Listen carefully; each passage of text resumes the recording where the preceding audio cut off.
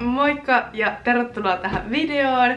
Kuten näette, mulla on haalarit jalassa, eli varmaan jotenkin opiskelija-aiheinen video, jos olette lukenut tämän videon otsikon, minkä olette varmaan lukenut, kun olette tähän videoon, niin tiedätte, että tänään puhutaan opiskelijatapahtumista ja bileistä ja kaikista hauskasta aktiviteetista, mitä kuuluu opiskelijaelämään. Ja mä ajattelin, että teema on sopivasti pistää mun haalarit jalkaan ja puhun teille vähän mun kokemuksista, opiskelijatapahtumista, mitä niitä on, ja sitten myös, että mikä on mun lempari. Ja sitten mä myös kerron, että mikä mun lempitapahtuma oli viime vuonna, ja minkä takia, ja mikä on mun lempitapahtuman tyyppi.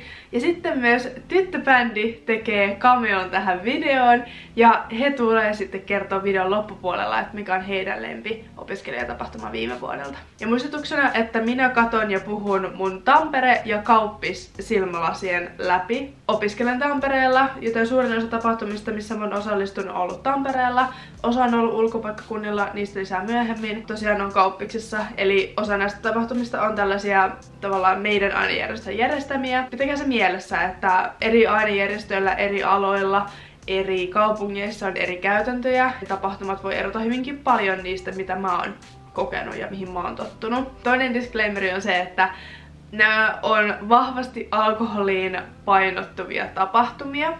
Ja se on sen takia, koska minä itse tykkään juhlia ja juoda alkoholia. No niin, eli aletaan käymään läpi näitä opiskelijatapahtumia. Mennään tapahtumatyypeittäin ja mä kerron teille lyhyesti, että mitä ne tarkoittaa, mitä siellä tehdään ja mitä mun kokemuksia on niistä. Eli aloitetaan kaikista yksinkertaisimmasta, eli haalaribileistä ja kolmioista. Ne on kaikista yksinkertaisimpia opiskelijatapahtumia, mitä järjestetään. Haalaribileet on sellaista, että ne järjestetään aina joka kuukautena ensimmäisenä torstaina opintotukipäivän jälkeen. Eli siinä joka kuun alussa järjestetään haalaribileet ja ne on yleensä Ilonassa täällä Tampereella. Ja kolmiot on ihan samanlainen konsepti, mutta järjestetään useimmiten vaan Rantaporossa ja ne järjestää kolme eri ainejärjestöä, mistä se kolmiot nimi tulee. Sen järjestää Index Loop ja Staabi. Ja näistä kahdesta ehdottomasti mun lemppari on haalaribileet. Mä oon käynyt useimmissa haalaribileissä itse ja baareista mä tykkään enemmän Ilonasta. Niin sen takia haalaribileet on mulle houkuttelevammat kuin kolmiot. Ja molemmat haalaribileet ja kolmiot, sitten on olemassa myös kielarit, mutta niissä mä en ole ikin käynyt on tällaiset ihan tavalliset perinteiset bileet. Ainoa tapa, miten se eroaa millään tavalla tavallisesta kavereiden kanssa baarilasta on se, että siellä laitetaan haalarit jalkaan. Ei ole mikään mun absolute favoritti, mutta ihan hauskoja, kun on hyvä porukka ja vaikka jotkut tosi kivat etkot. Ja näistä molemmista tapahtumatyypeistä saa yleensä haalarimerkit, jos niitä vaan riittää siinä vaiheessa, kun sä saavut paikalle. Ja niitä on kiva keräillä, koska ne on samanlaisia, mutta eri värisiä. Esimerkiksi tässä mun haalaripide-merkit. Mulla on niitä neljä. Sitten puhutaan sitseistä, mikä on mun ehdottomasti tyyppi. Mä rakastan sitsejä. Sitten sit on vaan ehkä semmonen sana, mitä te olette kuullut aikaisemminkin, mutta ei mitään hajukaan, että mitä se tarkoittaa. Ja don't worry, ei mullakaan ollut, kunnes mä menin mun ensimmäiselle sitseelleni. Täytyy sanoa, että ne ekat sitsit oli kyllä aikamoinen kokemus. Se oli ihan, mä en edes osannut odottaa, mitä kaikkea siellä tapahtui ja kuinka hauskaa mulla oli. Periaatteessa kyseessä on siis akateeminen pöytäjuhla ja näissä on kuullut, kun jutellut muiden kavereiden kanssa, jotka on eri puolella opiskelemassa, niin näissä on tosi paljon eri käytäntöjä. Mutta periaatteessa kaikilla, jotka järjestää sitsejä, on omat säännöt. Säännöt vaihtelee jonkin verran, jotkut, jossain on tosi tiukat säännöt ja jossain on sit tosi tavallaan kevyet ja tosi niinku rennot säännöt. Meidän ainejärjestön sitseillä semmoset, mä sanoisin ehkä semmoset niinku medium-säännöt, että ei ole mikään ihan todella kamalan tiukkaa, mutta silleen, että esimerkiksi kun on taukoja, niin sen voit käydä vessassa ainoastaan tauoilla, että siinä vaiheessa kun tavallaan on se yksi setti, niin sä et saa poistua pöydästä mikä on siis mun mielestä tosi hyvä, koska meidän sit on tavallaan aika isoja, niin siitä tulisi tosi paljon sellaista ylimääräistä häslinkiä ja melua ja säätöä, jos kaikki vaan menisi silleen. Ja sitten esimerkiksi, että puhelinta ei saa käyttää settien aikana ainoastaan tauoilla, on mun mielestä tosi hyvä, että kaikki on siinä hetkessä. Useimmissa sitseissä, ainakin missä mä oon käynyt, niin kaikissa on ollut valmiiksi istumajärjestys, eli harvemmin saa istua sen sun kaverin vieressä, mikä voi ehkä kuulostaa tosi pelottavalta monelle ja ahistavalta kokemukselta. Mulla on tosi paljon kavereita, jotka eivät tykkää siitä osiosta sitseessä. Mutta hekin on pärjänneet ja yleensä sieltä saa sitten vaikka uusia tuttavuuksia tai jopa uusia ystäviä, koska sä et välttämättä muuten olisi jutellut sen yhden tyypin kanssa, joka on istunut sun vieressä tai vastapäätä. Ja sitten on tietysti sitten sen jälkeen jatkot, missä voisit olla sen sun parhaimman kaveriporukan kanssa. Eli perusrakenne sitseille, ja ton, että mihin mä oon tottunut, että mitä meidän kauppiksessa yleensä sit, sit on ollut, on kolme settiä, joista jokaisella tarjotaan aina oma ruokansa. Yleensä on niinku alkupää ja jälkiruoka. Ja meidän sitseillä nämä ruoat ei ole mitenkään fancy. Et alkuruoka voi olla joku yksi pizzapala ja sitten pääruoka voi olla vaikka joku kanapasta ja sitten vaikka jälkiruoka on joku yksi karkkipatukka tai tikkari tai jätski tai joku tollanen. Ja tosi tämmönen low key. Sä meet sinne, etit sun paikan, istut siihen sun paikalle, tervehdit ihmisiä, jotka sun ympärillä on. Ja sitten se alkaa ja sitten lauletaan tiettyjä lauluja, saa pyytää lauluja. Ja useimmilla on käytössä myös tällainen laulukirja. Tää on mun laulukirja, jos haluatte katsoa miltä se näyttää. Täällä on monta monta sivua lauluja, mitä saa sit toivoa. Ja täällä on semmosia tiettyjä lauluja, mitkä lauletaan esimerkiksi aina. Nämä on hauskoja, näihin välillä liittyy jonkinlainen juomarytmi, että jos niinku tietyssä kestä jälkeen aina otetaan huikka tai, tai on joku tanssi tai, tai joku tietty käsiliike, mitä sä teet. Nämä on hauskoja, jotkut on vähän härskei ja sit siellä on yleisestikin semmonen tunnelma, että ei kannata ottaa asioita liian tosissaan. Mutta tietysti myös, että kaikilla on niinku hyvä olla, mutta kuitenkin, että voidaan heittää vähän tällaista ronskimpaa läppää. Ja sitten yleensä näihin tota, kuuluu tämmöisiä brokkiksia. Ja ne on yleensä jotain semmosia ohjelmanumeroita tai näytelmiä tai jotain hauskaa. Joskus on ollut esimerkiksi flipkappi tai piirretään tosi selkeä, katsotaan asiat niinku pöytärivissä, että mikä sieltä sitten tulee lopussa tai, tai sitten ollut kahuutti. Tällaista niinku hauskaa tekemistä, että sitten sit on tosi, tosi hauska kokemus ja se ei ole pelkästään sitä ryyppäämistä, vaikka tosi paljon sieltä tuleekin juotua. Olkaa varovaisia, juokaa vettä ja tuntekaa omat rajanne. That's, that's all I'm gonna say here. Ja, ja sit, sit seihin usein myös kuuluu pukeutuminen. Mä voin laittaa tähän vähän kuvia, että miten me ollaan pukeuduttu meidän sitseille. Ja sit sit on ehdottomasti mun lempitapahtuma. Mä varmaan puhunkin sit niin paljon, että huomaatte, että on kyse on mun lempitapahtumasta. Mitä on sillikset? Mä en itse asiassa tiedä, mistä toi sana tulee. Et jos joku tietää, niin hei, feel free to comment. Sillis on yleensä jotenkin tosi isojen bileiden jälkeen. Esimerkiksi meillä on meidän fuksiviikkojen jälkeen oli smurfisillis tai vujujen jälkeen on vujusillis tai sitten on vappusillis ja esimerkiksi myös meillä Tampereen kauppiksessa on tällainen allianssisillis, mikä on siis yhteinen sillis pörssin kanssa. Pörssi on Jyväskylän kauppis. Periaate on se, että sinne mennään darrassa yleensä. Siellä on ruokaa. Periaatteessa syödään ja parannellaan eilispäivän darraa ja sitten lähdetään uuteen nousuun, jos niin haluaa. Yleensä Sillikseltä löytyy pomppulinna, missä pompitaan ja hengaillaan ja juodaan piirpongia ja usein myös Sillikset on silleen, että ollaan ulkona mahdollisimman paljon. Sillis on ihmisen parasta aikaa. Mulla on ollut ihan törkeän hauskoja tapahtumia, niin ehdottomasti suosittelen, jos teillä on mahdollisuus päästä Sillikselle. Ja joo, yleensä tapahtumapaikka on jossain vähän etäämällä, että sinne mennään usein busseilla. Sitten päästään aproihin. Ootte varmasti kuullut sanan apro joskus aikaisemminkin, mutta mit, mitä on apro? Mikä, mit, mitä se tarkoittaa? Esimerkiksi mä en tiennyt, mitä apro tarkoittaa ennen kuin mä aloin opiskelemaan. Mun kaverit puhuu aproista ja mä olen vähän että no mä ehkä tiedän jotenkin, mutta ei mulla oikeastaan mitään hajukaan. Aprojen perusperiaate on se, että kierretään baareja, ostetaan juotavia ja kerätään leimoja. Ne on aprot. Eli periaatteessa tällainen kaupunkikierros, voisi ehkä sanoa baarikierros. Ja sitten saat yleensä tällaisen tavallaan passin, mihin sä niitä sun leimoja. Sä keräät niihin leimoja ja sitten sä saat yleensä haalainmerkin niistä kerätyistä leimoista. Aproista tunnetumpi on varmaan Suomen suurin ja mahtavin Hämeenkadon Apro, mikä on täällä Tampereella aina syksyisin, se on taas tulossa, can't wait. Mä olin siellä viime vuonna töissä, se oli silloin nimellä Varjo Apro, koska sitten jouduttiin siirtämään koronan takia. Rinneriaha, mikä oli Jyväskylässä, mulla oli tässä, tässä tää passi, koska me kerättiin vaan yksi leima.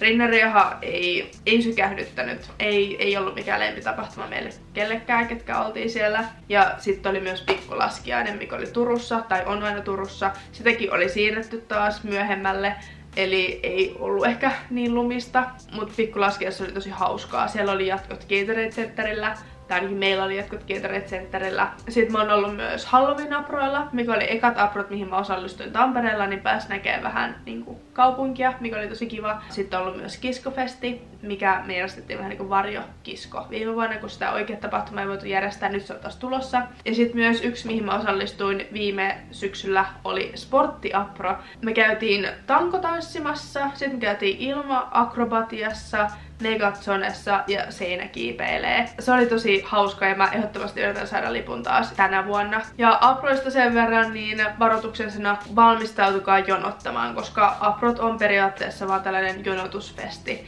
siellä on niin paljon ihmisiä liikenteessä ja rastipaikkoja on kuitenkin vain se rajattu määrä. Se joudut jonottaa tosi kauan, joten ottakaa joku kajarin mukaan, ottakaa reppuun juotavaa, syötävää, tekemistä, mitä liian, koska se saat jonottaa ihan sydämyskyllyydestä, että et pitäkää se mielessä, niin ei tule mitään sitten epärealistisia odotuksia siitä, että mitä aproilu oikeasti on. Sitten mennään tähän sekalaiset kategoriaan, mitä mä en osannut oikein nimetä tämän paremmin. Ensimmäisenä varmaan pakko mainita on Rexkut, tai ekskursiot yleisestikin. Mä oon tasan yhdellä ekskuilla ollut, mikä siis tarkoittaa, ekskursio on niinku yritysvierailu. Ja Rexku on Ruotsin yritysvierailu, eli Ruotsin ekskursio. Nää Rexkut on varmaan niinku yksi mun hauskimpia muistoja viime opiskeluvuodelta.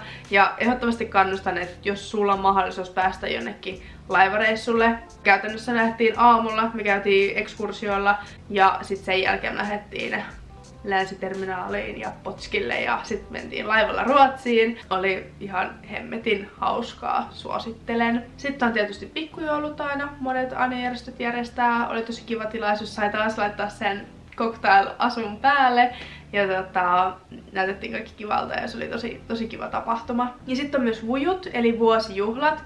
Eli tää on tää niinku ainejärjestön tavallaan synttärit. Ja ne on tosi hienot, että siellä on niinku kaikki iltapuvut ja meillä on tummapuku tai frakki ja se on niinku tämmönen kunnon iltagaala tai tapahtuma. Mutta meillä boomissa niin fuksit ei saa osallistua vujuille, koska ne liput on niin haluttu, niin meillä on sitten tämmöinen käytäntö, että fuksit ei sinne osallistu, vaan ne on yleensä sillä töissä. Niin mä en ollut viime vuonna vujuilla, mutta nyt kun menen toiselle vuodelle, niin nyt sitten toivottavasti pääsee. Can't wait. Ja sitten on tietysti opiskelijavappu. Boomilla on vappuna tosi paljon eri tapahtumia. Siinä on melkein kolme viikkoa, voisiko se kaksi ja puoli viikkoa, kaikenlaista eri tapahtumaa järjestetty silloin niin vapun aikaan. Mä pääsin osallistumaan suurimpaan osaan niistä. Meillä oli Vappu Grand Opening, taas tämmönen cocktailtilaisuus. Mayday Race, tuon Tampereen lääkiksen kanssa meillä oli tällainen niinku reissi, mikä on vähän niinku Amazing Race tyylinen. Se oli tietysti särkänmärkä, mikä oli aika kylmä ja ei ollut kovin kivaa, koska siellä oli tosi tosi kylmä. Siellä oli monet laitteet oli laitettu kiinni, koska oli yöllä ollut pakkasta. Ilmat ei ehkä suosinut tähän ulkoilmatapahtumaan. Ja sitten oli tosiaan tää allianssisillis. Ja sitten tietysti on tää vappupäivä ja vappuaatto, mutta niihin mä en päässyt osallistumaan tänä vuonna, koska mä olin kipeänä. Ja sitten tähän loppuun nopeasti. Mun lempparitapahtuma viime vuodelta oli varmaan G3-sitsit. Ne oli nää tuta, eli tuotantotalous, lääkis ja kauppis sitsit. Siellä oli tosi hyvät prokkikset, eli nämä ohjelmanumerot, ja oli tosi hauskaa. Siellä oli, siellä niinku yhdistyi näiden eri, että kun tuotantotalous on, ne on teekkareita, eli teknisen yliopiston opiskelijat, ne opiskelee Hervannassa, eli ne on hyvin tavallaan erilaista kulttuuria kuin mitä meillä on. Ja sitten on lääkis, jolla on tosi paljon omia tapahtumia, ja sitten on me, jolla on myös tosi paljon niin kuin, omia tapahtumia. Niin sitten kaikki ne kulttuurit oli silleen mishmoshattu vaan yhteen. Niin siellä oli tosi hauskaa, että oli vähän tosi erilaista, mutta silleen meillä oli tosi paljon kaikkea samaa. Siellä sai myös uusia ihania tuttuja, niin mä sanoisin, että ne oli ehkä mun lempitapahtuma. Ja tää on myös hullunkurista, että se oli semmonen tapahtuma, mihin menin yksin. Kukaan mun kaveriporukasta ja mun läheisimmistä kaverista ei saanut lippua sinne. Niin tota, se oli myös kokemus itsessään mennä sinne yksin, mutta kaikki meni hyvin ja mulla oli oikeasti, mä oon niin iloinen, että mä menin, koska mulla oli niin hauskaa siellä. Ja sit sit on mun yksi lempitapahtumatyyppi, niin senkin takia mulla vaan, että nyt mun on pakko mennä. En voi jättää välistä. Ja hyvä, etten jättänyt. Ja Inokki-tapahtuma, niin mun on varmaan pakko sanoa, niin joko ne vappukolmiot, mihin mä menin. Mulla ei ollut hauskaa siellä. Mä en oikein tykkää rantaporosta muutenkaan niinku baarina tai ympäristönä se ei jotenkin... Se on niin pieni ja se on kaksi kerrosta ja se jotenkin mä en vaan tykkää siitä. Ja nyt tyttöbändi, mihin minä kuulun, eli meidän kaveriporukka, vois kertoa heidän lempi-opiskelijatapahtumat viime vuodelta. Moi vaan kaikille, mun nimi on Anniina. Ja tota, mun lempitapahtuma vuodelta oli Vaasassa järjestettävät ykypäivät. Lähetin sinne tosiaan kavereiden kanssa ja se oli alkuun semmoinen rastikierros, jonka jälkeen me mentiin kylpylään. Se oli ihan superhauskaa. Sieltä lähdettiin jatkoille. Ja tota, sitten seuraavana aamuna oli vielä Sillis, johon, johon mentiin myös. Ää, kokonaisuudessaan tuo reissu oli aivan superhauska. Se oli niin kuin yksi, yksi kohokohdista ehdottomasti. Moi, mä oon Milja. Ja mun ihan suosikki opiskelijatapahtuma viime vuonna oli Vykypäivät, joka oli siis tämmönen Vaasassa järjestetty opiskelijatapahtuma, jossa käytiin Tropiclandiassa ja sen lisäksi oli kaikkea muuta hauskaa aktiviteettia, kuten esimerkiksi sillis ja rastirataa. Ja mä tykkäsin tästä tapahtumasta sen takia, että noin kaksi oli kiva käydä jossain muussa kaupungissa. Ja sitten sen lisäksi mun mielestä tapahtuma oli kaikin puolin ihan älyttömän hyvin järjestetty. Ja se oli vaan tosi hauska reissu kokonaisuudessaan. Hello Helsinki! Moi mä oon Tara! Moi mä oon. Ja meidän lempitapahtuma on ehdottomasti Ruotsin Exku, eli tuttavallisemmin. Exku. Kyllä. Oli vaan helvetin hauskat kaksi päivää Rissellä. Eikä silmää hetkeä näkynyt. Ei, ehdottomasti ei. Mutta meidän täytyy nyt lähteä kiskofestiin, niin näkyilemme. Ja tässä oli joidenkin tyttöpädiläisten ensimmäinen cameo tähän YouTube-videolle. Toivottavasti tykkäsitte tästä, että sai vähän muitakin näkökulmia mun näkökulman lisäksi. Ja hei, toivottavasti tykkäsitte tästä. Tää on semmonen video, mitä mä olisin itse kaivannut silloin vuosi sitten, kun mä aloitin koulun. Mulla ei mitään hajukaan mistä opiskelijatapahtumista. Mutta on myös tosi paljon, mitä mä en oo sanonut ja mitä te saatte itse sitten koko ajan. Ja jos ette, niin se on myös ihan ok. Toivottavasti tää oli teille mielenkiintoinen, että mitä täällä opiskelijatapahtumassa oikein tapahtuu. Mä toivon, että tykkäsitte ja me nähdään ensi videossa. Moi moi!